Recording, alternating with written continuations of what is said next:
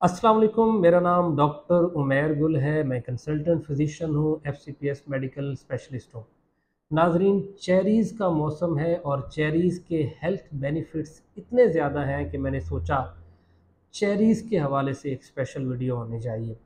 ناظرین، چیری ایک زبردست فروٹ ہے اور خوش قسمتی سے پاکستان میں یہ فروٹ اپنے موسم میں آسانی سے ملتا ہے، اگرچہ تھوڑا سا یہ کاسٹلی فوڈ ہے۔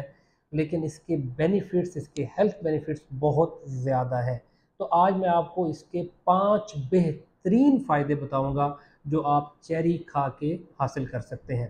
نمبر ایک چیریز میں میلاٹونن بہت زیادہ مقدار میں موجود ہوتا ہے اور یہ وہ ہارمون ہے جو کہ نیند کے لیے بڑا زبردست ہوتا ہے۔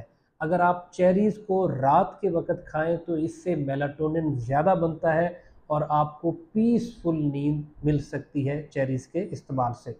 نمبر دو، چیریز میں اینٹی آکسیڈنٹ بہت زیادہ مقدار میں موجود ہوتے ہیں اور اس اینٹی آکسیڈنٹ کی پراپرٹیز کی وجہ سے چیریز جسم کو، جلد کو فریش رکھنے میں کام آ سکتی ہے اور چیریز اینٹی ایجنگ کے طور پہ بھی کام آ سکتی ہے کیونکہ اس میں اینٹی آکسیڈنٹ بہت زیادہ مقدار میں ہوتے ہیں۔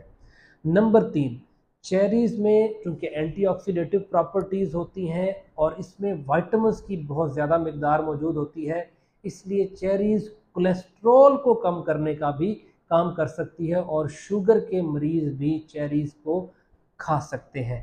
نمبر چار، چیریز میں وائٹمن سی زیادہ مقدار میں موجود ہوتا ہے اور یہ وائٹمن سی ان لوگوں کے لیے بہت زیادہ ہیلپ فل ہے جو گنٹھیا کے مریض ہیں یا گاؤٹ کے مریض ہیں۔ جن میں جوڑوں میں درد، جوڑوں میں سوزش رہتی ہے، وہ پیشنٹ بھی چیریز کا زیادہ استعمال کر سکتے ہیں۔ نمبر پانچ، وہ مریض جن میں انیمیا ہے، خون کی کمی رہتی ہے، خاص طور پر خواتین جو لیکٹیٹنگ مدر ہیں یا جن میں ویسے خون کی کمی ہے، ان میں بھی چیری کا استعمال بہت زبردست ہے۔ کیونکہ چیری میں آئرن ہوتا ہے، چیری میں وائٹمنز ہیں اور چیریز میں ضروری منرلز بھی موجود ہیں جس کی وجہ سے یہ خون بنانے میں بھی بہت اہم کردار ادا کرتی ہے۔ ویڈیو اچھی لگے، لائک کریں، دوسروں کے ساتھ شیئر کریں۔ گاؤں میں یاد رکھیں۔ اللہ حافظ۔